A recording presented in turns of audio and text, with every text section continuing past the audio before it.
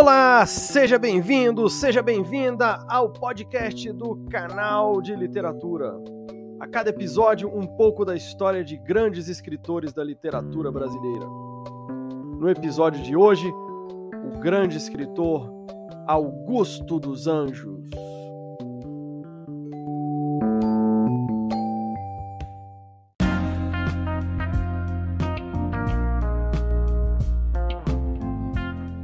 A literatura brasileira vivia nas duas primeiras décadas do século XX em um momento de transição. Por um lado, perdurava a influência das correntes estéticas do século XIX, como o realismo, o naturalismo, o parnasianismo e o simbolismo.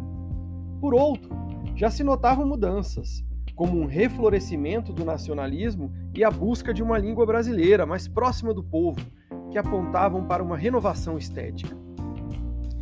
Entre 1902 e 1922, que foi justamente o ano em que ocorreu a Semana de Arte Moderna, né, que é considerado o marco inicial do modernismo brasileiro, é, esse período de 1902 a 1922 costuma se chamar pré-modernismo. Essa produção desses 20 anos não chegou a constituir um movimento literário, mas criou condições para a grande ruptura que se daria logo depois que foi o grande movimento literário chamado de modernismo no Brasil. O pré-modernismo contou com uma rica produção em verso e em prosa. Na poesia, destaca-se o poeta Augusto dos Anjos. Na prosa, Euclides da Cunha, Monteiro Lobato, Lima Barreto, Graça Aranha, são grandes nomes. Vamos ouvir um pouquinho aqui sobre Augusto dos Anjos, que é o nosso foco maior aqui neste podcast hoje.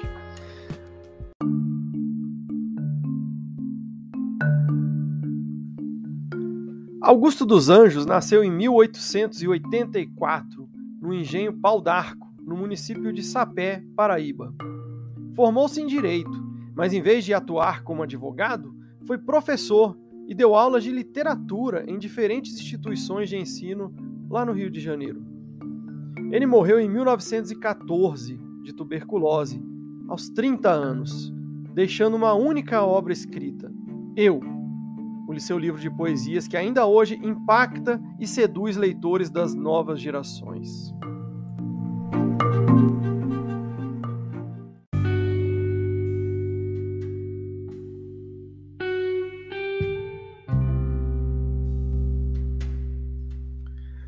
O livro Eu de Augusto dos Anjos foi publicado em 1912.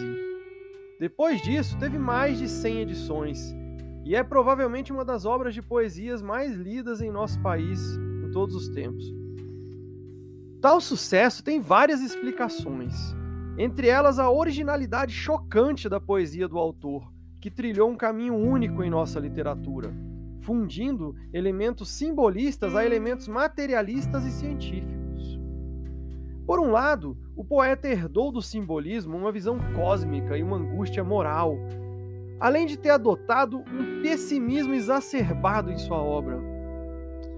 Por outro lado, incorporou uma visão materialista e científica da vida e do mundo. Paradoxalmente, o eu lírico de seus poemas busca o infinito da matéria, com a perspectiva pessimista de que tudo caminha para a morte, para o mal, para o nada. Não há nessa poesia de Augusto dos Anjos lugar para esperança, uma vez que tudo é matéria e a matéria caminha para a podridão absoluta.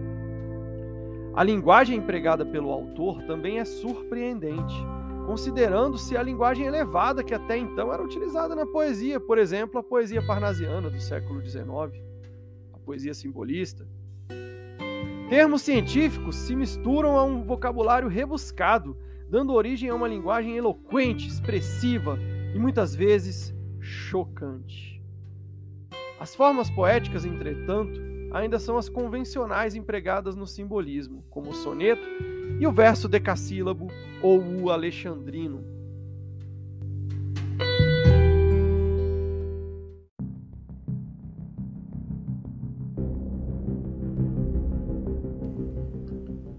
Finalizando o episódio de hoje, Vamos ouvir então um dos poemas mais conhecidos de Augusto dos Anjos.